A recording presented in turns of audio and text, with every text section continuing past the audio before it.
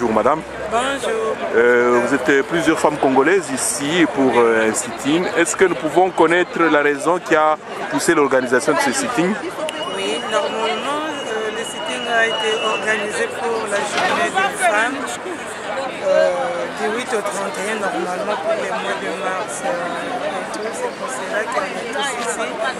Toutes les femmes, malgré que les autres sont au travail, parce que c'est un vendredi, c'est un peu dur et difficile, mais c'était pour lancer le message pour toutes les femmes filmées, stop aux jeunes dans notre pays.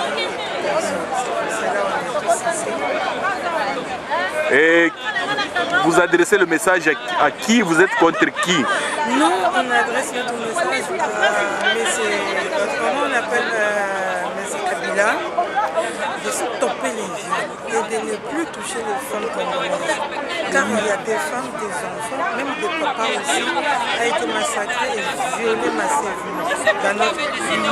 C'est pour cela que nous demandons à Kabila de stopper les violences.